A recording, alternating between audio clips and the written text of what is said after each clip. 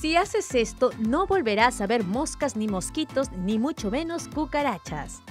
Solo debes mezclar estos dos ingredientes en una olla. Agrega un litro de agua y echa 15 hojas de laurel.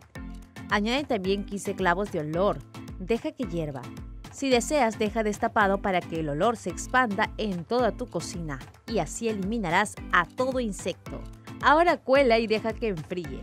Con un embudo, agregue líquido y rocíe en todas las partes que creas que vienen los insectos. Con esto dirás adiós a todos los mosquitos, moscas y cucarachas.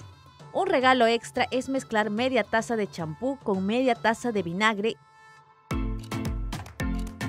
y media taza de aceite de cocina.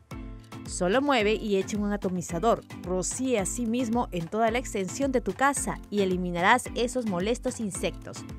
Escribe en los comentarios cuál de las dos recetas te gustó más. Nos vemos en un siguiente video. Dios te bendiga.